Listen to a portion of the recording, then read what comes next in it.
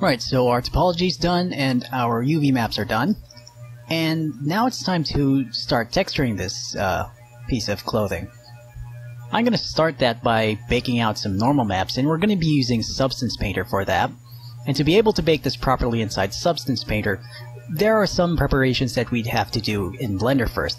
So the first thing you'll notice, if I show my high resolution mesh, I re-imported this so that it is again separate objects. And I'm just going to combine this shirt over here and this front bit, this one and this one. There we go. Combine that into a single piece. And I'm going to start renaming these. So this is going to be, let's call this vest under underscore high. And this one's going to be sleeves high. This is buttons high. And here we have color high. Now for a low resolution mesh, I'm going to hide this first. I'm actually going to go and create a different baking mesh to the one that we are going to send into Character Creator. So this is what we're going to send into Character Creator. And I'm going to make a duplicate of this. And just going to hide the original one. And I'm going to split this up into a similar way to how these high resolution meshes are split up. So I'm going to go into edit mode and select one component and and press Ctrl L to link. And I'm gonna set this to UVs and I'm gonna separate this out by selection. Gonna do the same for the other uh, sleeve. There we go. Make sure everything's selected. Okay. And again separate by selection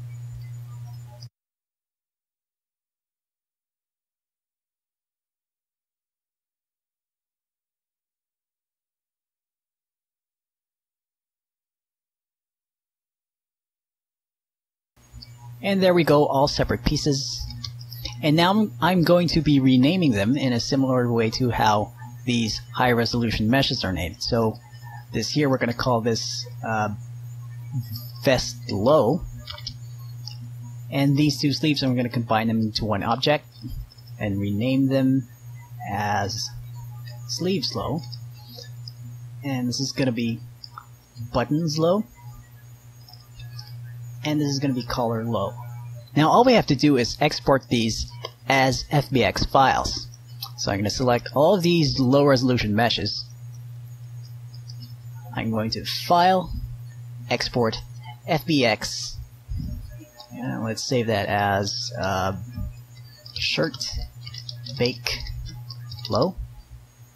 And I'm going to change some options here so that I export only selected objects. I don't want to apply the modifiers. And yeah, that's good. Sure bake low, export FBX.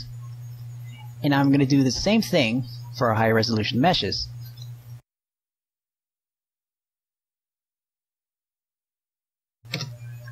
And this is ready to take into Substance Painter for normal map baking.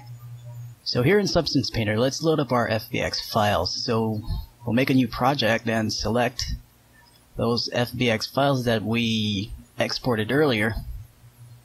Where is that?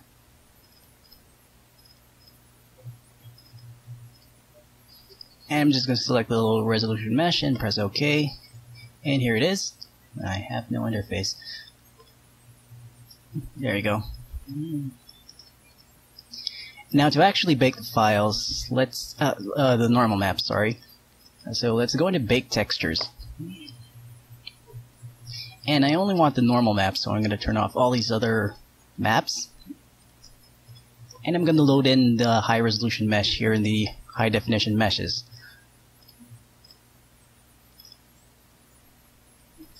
Now for this match setting over here, we want to switch over to by mesh name. So remember that naming convention that we used, we had underscore high for the high resolution meshes and underscore low for the low resolution meshes. And let's do a test bake with a low map size, set 512, and bake textures. And this actually looks pretty good.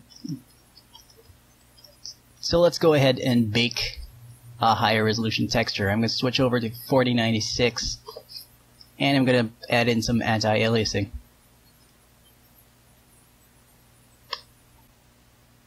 Okay, this looks good, so let's export our normal maps now. I'm going to go to File, Export Textures,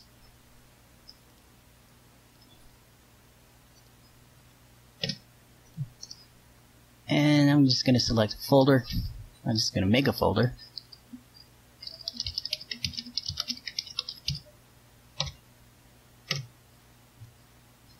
For our texture size, I'm just going to select 4096 by 4096.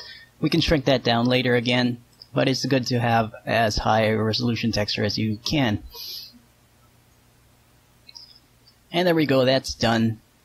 And if we open our folder, it also saves out all the other channels. We don't really need these, we can just delete these. And here's our normal map.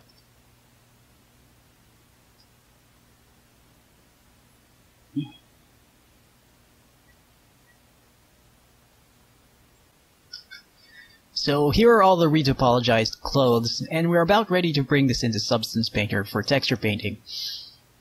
All we need to do now is make sure that each individual piece of clothing will have its own unique materials, and this is how Substance Painter is going to differentiate between the pieces of clothing and not through the names of the actual geometry.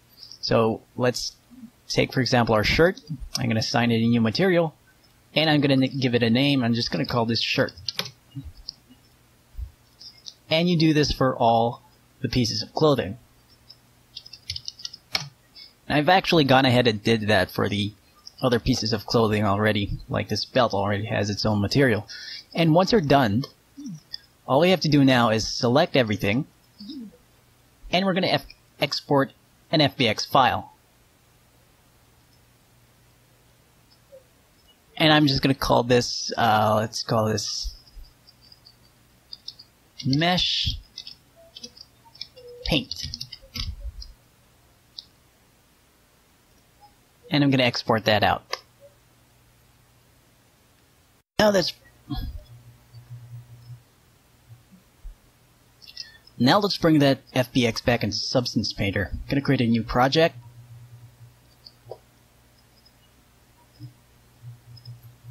And I'm going to select our mesh. There we go. There it is. And I am also going to load in our uh, normal maps. So I'm going to switch over to this texture tab over here. And I'm just going to drag in all the normal maps that I baked previously.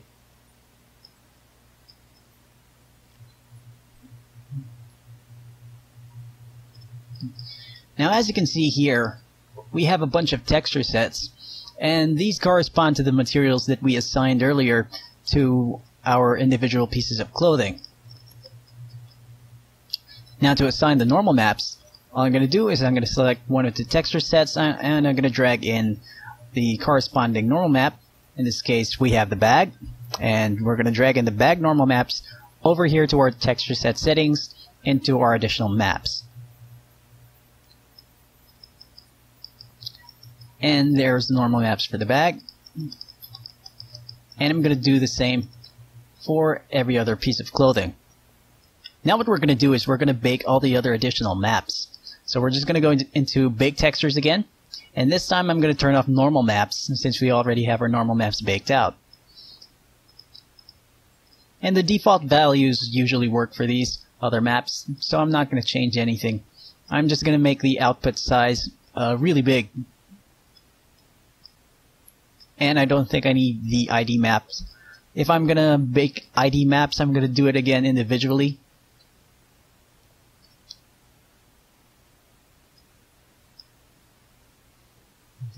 There we go, all the additional maps have been baked. But that's just for the shirt. We're gonna have to go through each of these texture sets and bake all those additional maps for those too.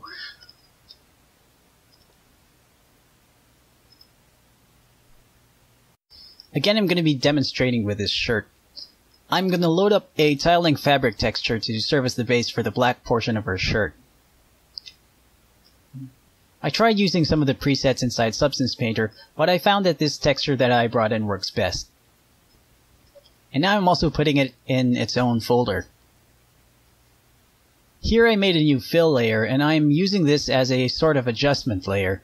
try out the different layer blending modes to get the effect that you want.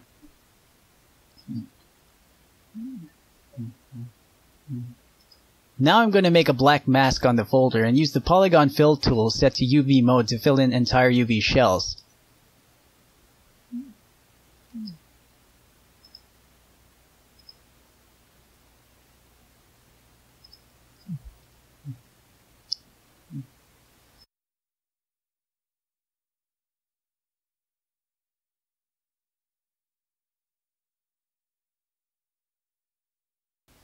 For the sleeves, I'm going to try out some of the presets. The smart materials come with some pre-built effects that you can play around with. This one has edge wearing that uses the curvature map. That's one of the additional maps that we baked in in the previous step.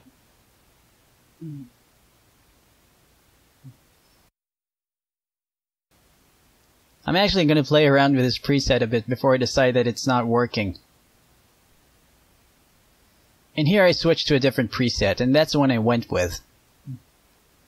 And now I'm also making a new folder for the buttons.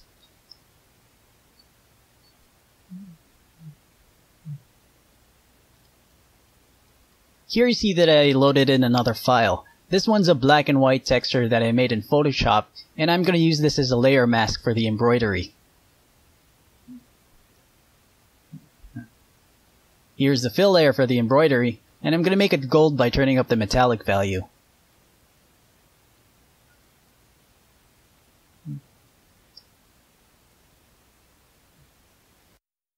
To use that texture that we loaded in as a layer mask, all I have to do is right click on the folder or layer and choose add bitmap mask.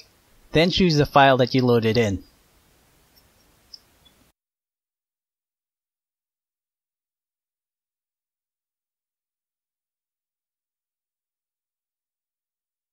I'm going to add in some procedural effects for that black part now. I added a new fill layer and gave it a black mask. On the mask I add in a generator.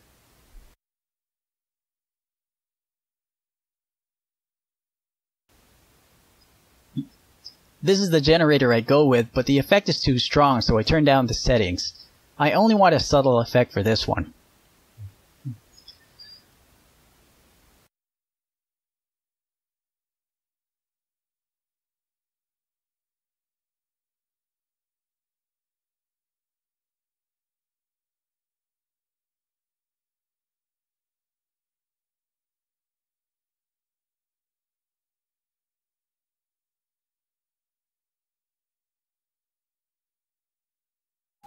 Now I'm going to start adding in some stitches. Substance Painter comes with a procedural stitch alpha, so that one's pretty handy.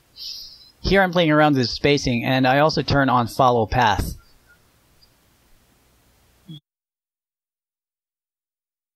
The stitches for now are red, and that's just so I can see them better. If you noticed, I'm not actually painting on the layer, I'm painting on the mask of a fill layer. And that way I can adjust the properties of the stitches later on.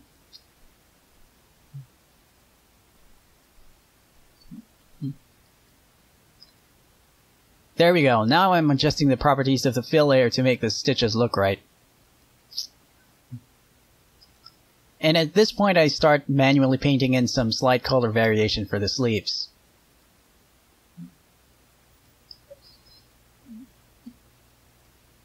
Lastly, I'm going to go in and paint some detail onto the embroidery. I'm just going to add a new layer and just paint in some height information and nothing else.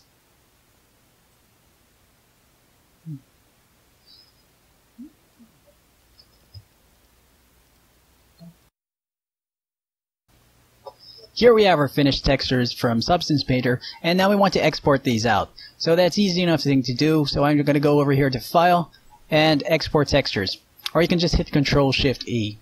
Now over here I'm going to select a folder, and there we go. I'm just going to create a new folder over here. Let's call it Clothes PBR. And we select that folder. And make sure that for your texture sets we have all of these selected. And for the config, I'm just going to switch this over to the default, which is document channels plus normal. And we can export that out.